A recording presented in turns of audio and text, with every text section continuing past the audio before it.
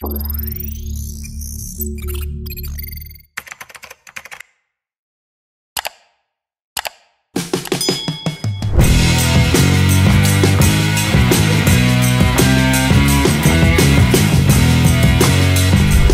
ครับท่านผู้ชมครับ ตอนนี้ครับอยู่กับคอคนรักรถ Channel นะครับ วันนี้นะครับเราก็อยู่ในสนามปทุมธานี Speedway วันนี้นะครับเราอยู่กับแบรนด์ใหม่จากประเทศจีน แต่ก็เป็นแบรนด์เก่าหลักที่เคยมาทำตลาดในเมืองไทยแล้ว นั่นก็คือ Chery นะครับ แต่เนี้ยก็คือเป็นหนึ่งแบรนด์นะครับอยู่ภายใต้ของ Chery นะครับ ก็คือแบรนด์ Omoda นะครับ C5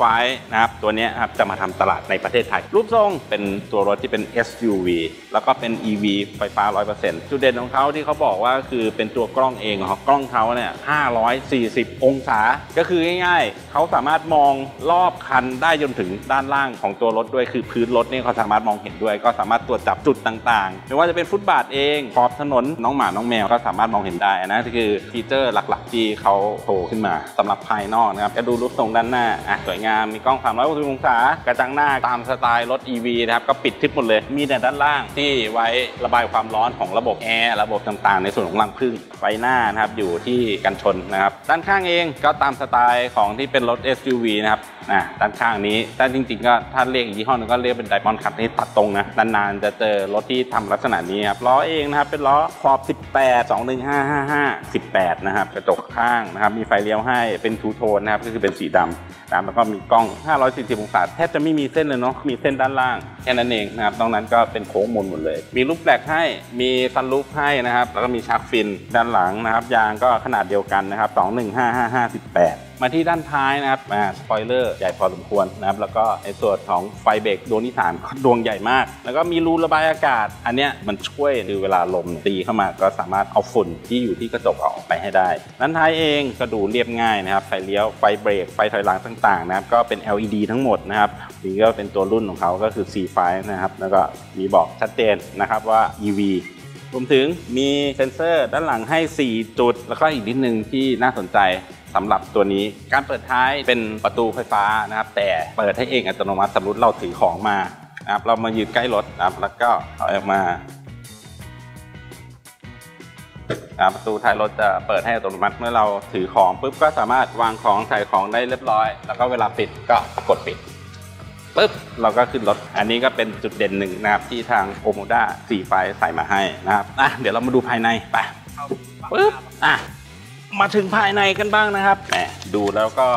เป็นรถหรูดูดีนะครับในการออกแบบภายในรวมถึงเบาะเองนะครับเป็น b บ c เกนซีทนะครับรูปทรงเป็นสปอร์ตพวงมาลัยเอง เป็นลักษณะเป็น D shape นะครับก็มีมัลติฟัง c t ชันต่างๆ ให้มาครบนะครับรวมถึงระบบช่วยเหลือต่างๆ ก็อยู่ที่พวงมาลัยไม่ว่าจะเป็น adaptive cruise control lane keeping ต่างๆ ก็คือปรับเปลี่ยนที่พวงมาลัยหมดนะครับแล้วก็รวมถึงหน้าจอขนาด 12 นิ้ว 2 ฝั่งนะครับแอร์เป็น 2 โซนนะครับซ้ายกับขวา ด้านหลังใช้โซนเดียวกับโซน 2 คือผู้โดยสารด้านข้างตอนหน้านะครับใช้ได้นะเดี๋ยวนี้รถที่มาจากประเทศจีนไม่ขี้เหร่นะแล้วก็เครื่องเสียงเองนี่เขาให้โซนี่มาอะส่วนตรงนี้ก็มีไวเลสชาร์จิ่งมาให้ แล้วก็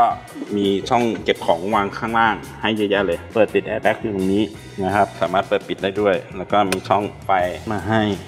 อันนี้ก็ที่เท้าแขนที่วางแก้วมี 2 จุด แล้วนี่ก็ใส่ของเล็กๆน้อยๆเบาะเองนะครับ ฝั่งคนขับนี่ก็ปรับ 6 ทิศทางนะครับ ก็คือเลื่อนหน้าเลื่อนหลังเอ็นหน้าเอ็นหลัง แล้วก็ยกท้ายไม่ยกหน้านะครับ แล้วก็ผู้โดยสารตอนข้าง ณ ตอนนี้นะ ผมไม่รู้ว่าตัวจริงเป็นไง แต่ P version เนี่ย ปรับได้น้อยมาก ปรับได้แค่ 4 ทิศทาง แล้วเมื่อกี้ผมลองนั่ง เดี๋ยวผมไปลองนั่งให้ดู อะ ผมลองนั่งเป็นท่าที่ผมถนัดเลยนะ โดยปกติปุ๊บโอ้โหผมนั่งปุ๊บถ้ารถกระแทกนิดนึงบอกเลยไม่เหลือ หัวแตกนะครับหลังคาติดเลย ผมเวลานั่งผมก็เลยต้องหดลงมานะครับ แต่อันเนี้ยมันจะเป็นท่าที่ไม่สบาย แล้วก็ตัวเบาะเองนะครับ คู่หน้าก็จะมีพัดลมระบายอากาศอยู่ในตัวเบาะให้ด้านหน้าก็ประมาณนี้ ด้านหลังโอ้โหไม่กว้างเท่าไหร่ แต่ก็พอนั่งได้เพราะตัวเบาะเองมีเครื่องรับเข่าอยู่ แต่ตัวเบาะเองนี่ทึบพอสมควรนะครับคนนั่งหลังอาจจะมีอาการเหวี่ยงหรือเวียนหัวได้ แอร์ด้านหลัง วายมีอันเดียว แล้วก็มีที่ชาร์จไฟให้ทั้ง USB Type C แล้วก็ Type A นะครับไฟหลังมีมาให้ อันนี้ก็จะเป็นในส่วนของภายในที่แบบคร่าวๆนะมีลำโพง มีตัว tweeter ทั้งหน้าทั้งหลังนะแล้วก็มีลำโพงให้ อันนี้เป็นคร่าวๆนะครับในส่วนของภายในอะ สำหรับมอเตอร์ไฟฟ้าเองนะครับของตัว Omoda C5 นะครับก็ขนาดอยู่ 61 กิโลวัตต์นะครับก็วิ่งได้อยู่ประมาณ 460 กิโล การขับเคลื่อนเองนะครับมอเตอร์ไฟฟ้าให้แรงม้ามาให้อยู่ 204 แรงม้า340นิวตันเมตรนะครับก็ถือว่าโอเคนะ0 100 อยู่ที่ 7.8 วินาที เดี๋ยวเราไปทดสอบใน station ต่างๆนะครับที่ทาง Omoda จัดมาให้นะครับ เดี๋ยวเราไปดูกันว่ามีการทดสอบอะไรบ้างไปครับ ตอนนี้ครับอยู่ใน station ในการทดสอบรถนะครับ Omoda C5 นะครับ ต้องบอกว่าตอนนี้ก็คือเป็น pre-production นะครับ ระบบต่างๆ อาจจะยังไม่สมบูรณ์ 100%เดี๋ยวเราจะมาลองกันดูว่าตัวรถเนี่ยเป็นยังไงบ้างสเตชันแรกนะครับ ก็คือทดสอบในส่วนของระบบช่วงล่าง แล้วก็ผ่านเนินกระดกนะครับ ก็ซ้ายขวารวมถึงฟังเสียงที่เข้ามาในตัวรถด้วยนะครับ เนื่องจากกระจก 3บานหน้านะครับเป็น acoustic glass นะครับก็คือสามารถซับเสียงได้ เพิ่มขึ้นนะครับประมาณ 3-5 เดซิเบลแล้วก็ในส่วนของช่วงล่างเองเขาเป็นอิสระปีกนกทั้งหน้าและหลังนะครับ ก็ผ่านมาก็เรื่องของซับเสียงก็ทำได้ดีนะ แล้วก็ในส่วนของช่วงล่างก็ออกไปทางแข็ง แล้วก็สเตชันต่อมานะครับ ก็จะเป็นในส่วนของสลาล่อมนะครับเรามาดูสลาล่อมตอนนี้ผมเข้าสลาล่อมอยู่ที่ประมาณสัก 40 ก็พออ่า40ดูความเสถียรของตัวพวงมาลัยเองก็ เข้าได้แม่นยำในความเร็วที่ไม่ได้สูงมากนะเมื่อกี้อยู่ประมาณ 40-50 แต่จริงๆมันก็ไม่ได้ไวมากนะ ก็ยังมีเหลือนิดนึงนะครับไม่ไม่ถึงกับหักปุ๊บแล้วก็ไปเลย อันนี้เป็นสเตชันที่ทดลองนะครับในสูตรถึงร้อยครับเดี๋ยวเรามาดูกันว่าจากที่เคลมไว้จากโรงงานนะครับก็คือ 7.8 วินาที เดี๋ยวเรามาดูว่าเราทดลองจริงเนี่ยจะได้ 7.8 หรือเปล่า มันอยู่ที่สภาวะหลาย ๆ อย่าง อันนี้เป็นสนามจริงนะทั้งแดดทั้งพื้นเป็นคอนกรีตด้วย ไป ห้าสิบหกสิบร้อยโอเค 8.3 นะครับ ตอนนี้เราใช้เป็นระบบแมนนวลนะครับ โทรศัพท์กดเอานะครับก็สูถึงร้อยอยู่ประมาณ 8.3 วินาที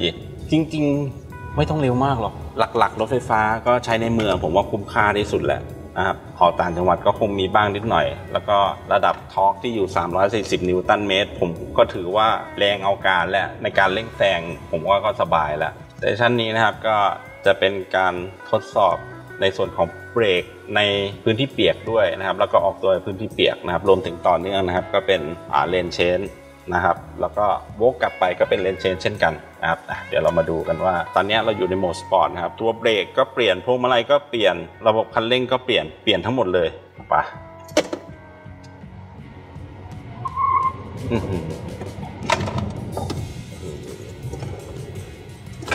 เหยียบเบรกแค่ตอนเดียวนะครับ ตอนออกตัวแล้วต่อเนื่องกันเลยครับเลนเชนตอนนี้ผมอยู่ที่ 60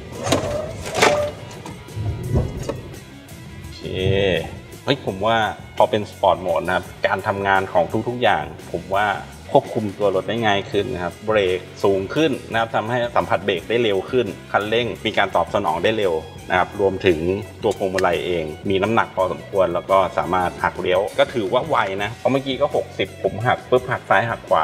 รถไม่มีอาการเลยนะครับรวมถึงตัว traction control ของเขาทำงานได้ดี เมื่อกี้ในพื้นที่เปียกความรู้สึกว่ารถไม่มีอาการบนน้ำนะครับมีการฟรีแต่ตัวรถเนี่ยยังตรงอยู่ปกตินะครับก็ถือว่าเป็นรถที่ดีในระบบต่างๆ ที่ให้ความช่วยเหลือมานะครับก็ต้องไปดูกันในตลาดนะครับว่ากับคู่แข่งเนี่ยเป็นยังไงบ้าง แต่เขาบอกว่าระบบความช่วยเหลือบางอย่างเนี่ยมีมากกว่าคู่แข่งอะเราก็ต้องไปเทียบกันดูนะครับว่าตัว